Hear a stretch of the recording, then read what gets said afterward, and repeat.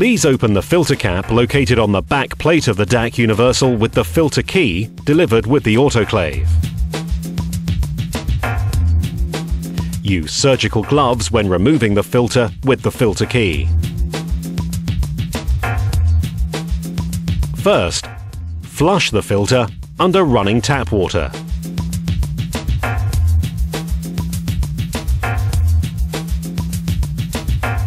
Then wrap a piece of paper around it while blowing it through with compressed air.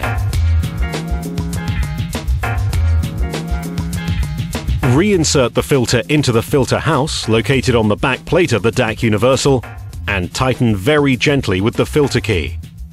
Afterwards, place the filter cap again and tighten gently with the filter key. Filters must be changed every four weeks. To check the water function, look down at the bottom adapter in the chamber. Press the rinse flush button and hold it until water exits the bottom adapter. If no water enters the chamber, please call your supplier. To check the oil function of the autoclave, first please find the serial number of your DAC Universal. The serial number can be found on the back plate of the autoclave. For DAC Universals with a serial number below 104,000, keep the lubricate button pressed. Within a few seconds, shots from the oil dispenser will be heard, and after a maximum of 5 to 6 shots, oil will enter the chamber from the bottom adapter. If no oil enters the chamber, please call your supplier. To check the oil function on a DAC Universal with a serial number higher than 104,000, keep the lubricate button pressed. After a few seconds, you will hear the oil dispenser start pumping, and shortly after, oil will enter the chamber from the bottom adapter.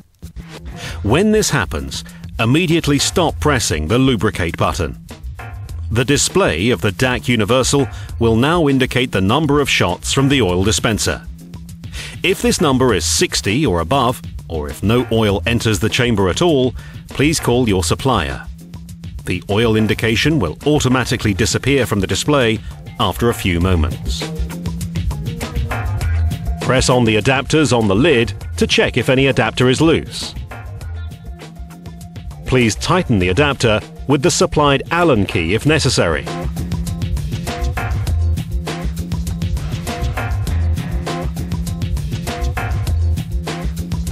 The O-rings must be checked and replaced if they are missing or damaged.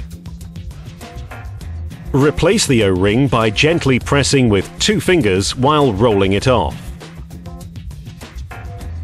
Likewise, use two fingers to roll on the new O-ring and gently place it in the slide. Please clean the inside of the chamber using a clean towel and isopropyl alcohol.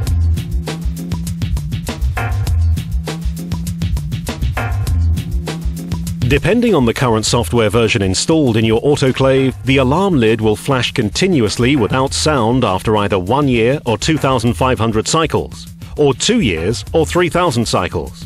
This indicates that technical service is recommended. Please consult your supplier.